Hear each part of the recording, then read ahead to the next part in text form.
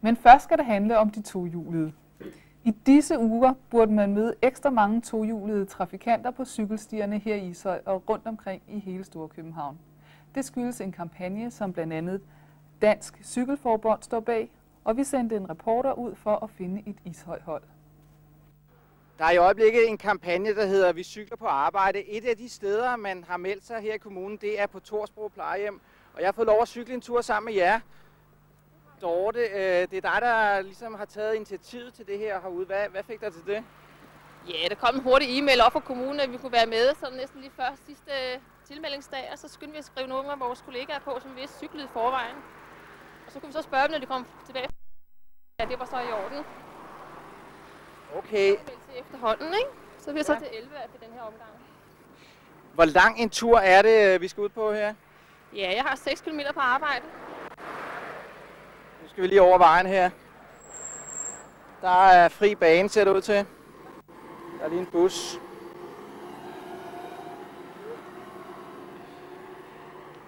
Men du siger, at øh, I har 6 km? Ja, det har jeg i hvert fald. Ikke? Nogle har så mere eller mindre, nogle har 10. Det tager jo lidt længere tid, ikke? Hver vej, ikke? Men er det realistisk at cykle så langt hver dag? Ja, 6 km. Ja, det er dejligt. 20, 20 minutter cirka tager det.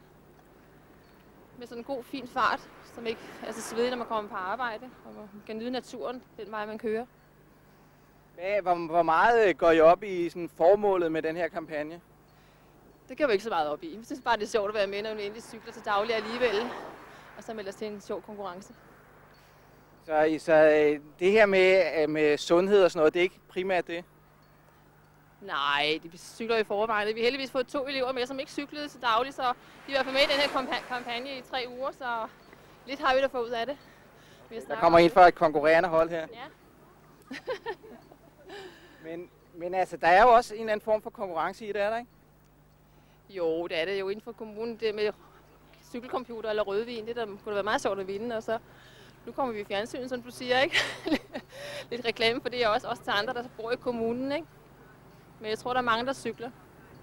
Men hvordan, hvordan kan det være, hvis, øh, hvis der er mange, der cykler? Hvordan kan det så være, at der bliver flere og flere biler på vejen her i Ishøj også? Ja, det kan jeg jo ikke svare på, når jeg cykler jo. men, men det kan være, at vi lige skal høre nogle af dem, som normalt ikke cykler, om, øh, om det er sådan noget her, der skal til for at få dem til at lade bilen stå derhjemme. Jeg skal lige høre, jeg skal lige høre dig. Øh, kører du normalt på cykel på arbejde? Ja, så vidt muligt. Det gør jeg da. Jeg har en gammel bil, som der er dyr i drift, og så er det jo dejligt at cykle og få noget motion, og det bliver da også til tøserunden en gang om året, så jeg er glad for at cykle. Men, øh, men er det ikke fristende, når nu, når nu regner og sådan noget her til vinter, og koldt, og der ligger sne, er det så ikke fristende at tage den der gamle bil? Jo, det er det, men jeg håber, den er solgt på det tidspunkt, og hvis man er klædt ordentligt på til vejret, så øh, må man jo bare se at komme afsted.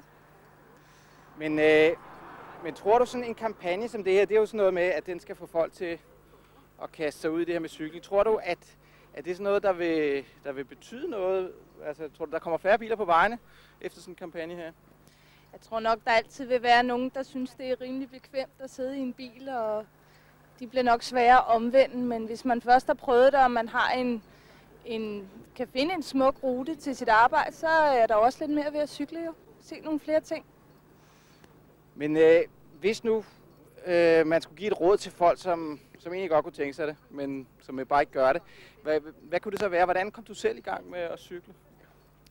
Jamen, jeg tror nok, at øh, min mor hun er mere entusiastisk, end jeg selv er med at cykle, så det er nok hende, der har hævet mig i gang. Og vi har aldrig vokset op med en bil, så det har været naturligt for os at cykle. Folk, der øh, har biler fra start af, det er jo noget andet. Altså, de, de er jo nok lidt mere vant til det der luksus med bilen, og så, så er det jo nemmere at sætte sig ind i en bil og køre afsted. Så. Godt. Vi skal se, om der er øh, nogen her, som kører i bil til daglig. Hvad siger du? Øh, du kører også på cykel til daglig? Jeg er meget på cykel, også i min ferie, og jeg er cyklist. Du er cyklist. Så, så det her det er heller ikke noget, der har, der har ligesom lavet om på dit liv? Nej, det må jeg sige. Det har det ikke. Men, men hvad, øh, er, det ikke, er det ikke fristende øh, om vinteren og, og, så, og så tage sin bil? ikke for mig. Fordi jeg, jeg, er, jeg elsker at cykle, simpelthen. Det må, det må jeg bare gøre hver dag. Og jeg cykler i min ferie. Landet rige rundt. Okay. Tak skal du have.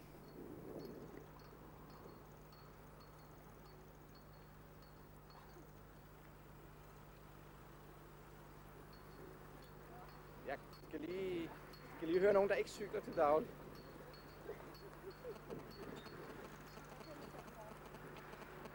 Jeg skal lige høre jer. Øh, cykler I til daglig? Ja, cykler til daglig. Vi har ikke råd til andet. Okay. Hvad, hvad siger du til, til sådan et initiativ her med at, at øh, få nogle flere til at cykle? Tror du, det er, tror du, det er noget, der vil få flere ud på cykler? Det er da helt sikkert.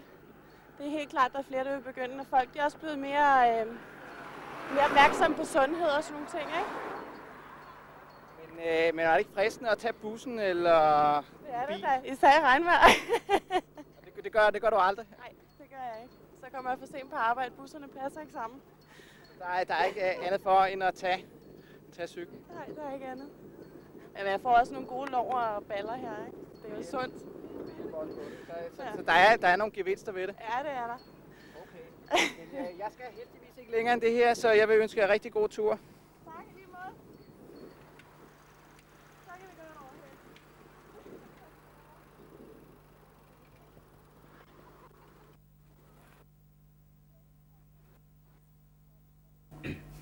Her i Ishøj er 19 tilmeldte hold, og ud over hovedpræmier er der også lokale præmier til deltagerne. Vi har talt med Henrik Puga, som har været en af drivkræfterne bag den lokale del af kampagnerne.